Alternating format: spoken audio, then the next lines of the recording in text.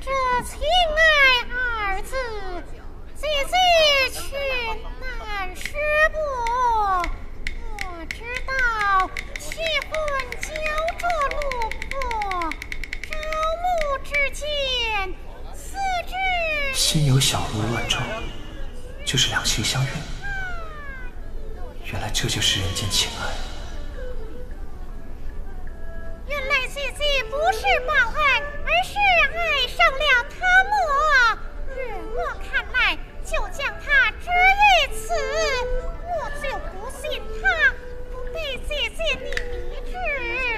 就是。规矩甚多，若是相爱，须得含蓄婉婉。只是要遮遮掩掩，不过明言是担当。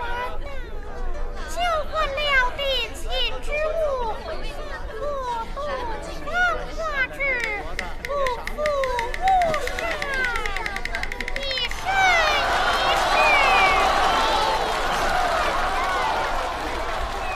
原是如此。只要给了定情物，就没有男女授受不亲。你我姐妹，在修炼之时，不？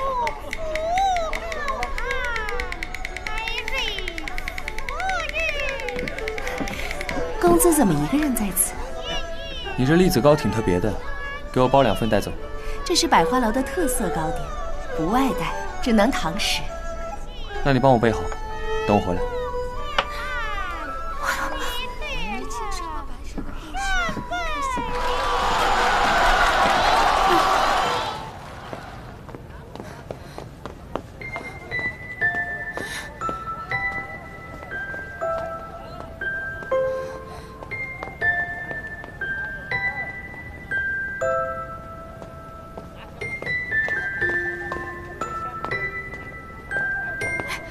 去哪儿了？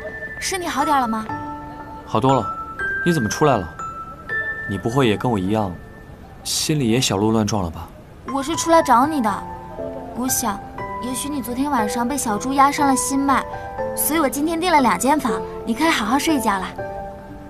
你找我？嗯。那你是在关心我吗？那当然了。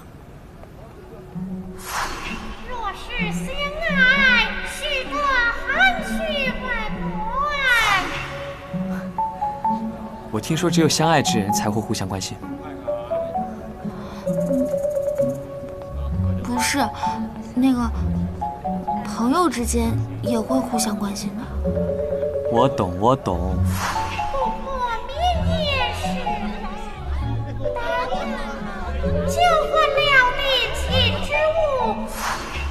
不能明说。对了，我知道有个地方的栗子糕特别好吃，一定很喜欢。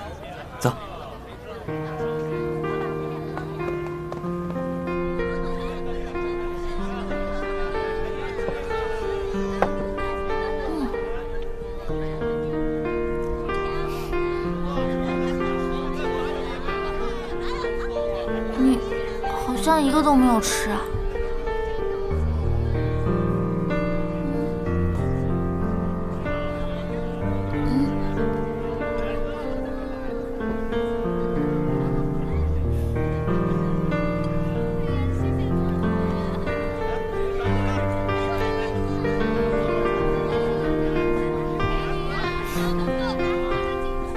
好吃。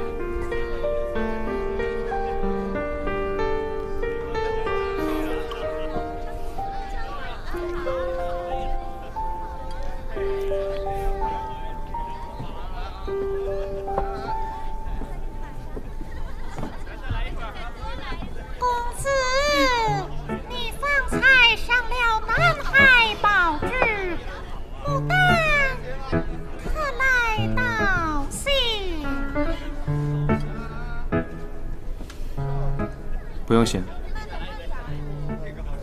丹长暖，公子可要到我花果中一叙？不用了，我们走吧。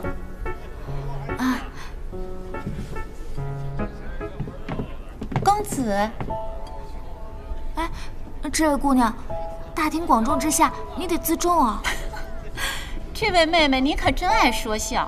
这自重的姑娘哪有来这百花楼的呀？百花楼？是呀。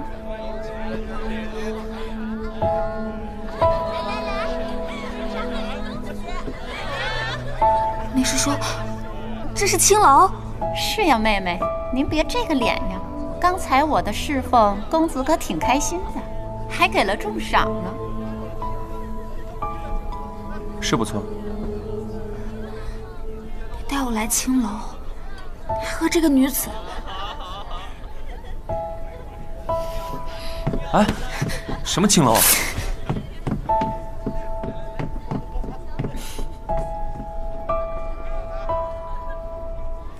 哎，小绿莹，你别碰我！小绿莹，你怎么了？不刚刚还好好的在吃栗子糕吗？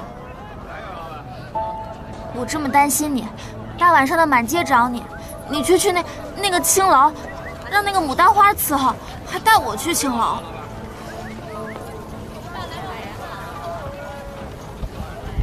看见你生气的样子，我的胸口好痛。原来心疼比心动更难受。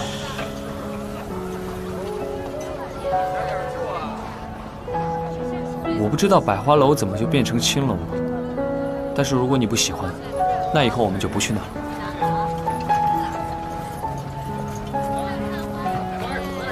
那，你是怎么认识那个牡丹花的？我是去看《白蛇传》，发现栗子糕挺好吃的，才带你去吃的。看来是我误会你了。不过那个青楼是绝对不能去的，好吗？好。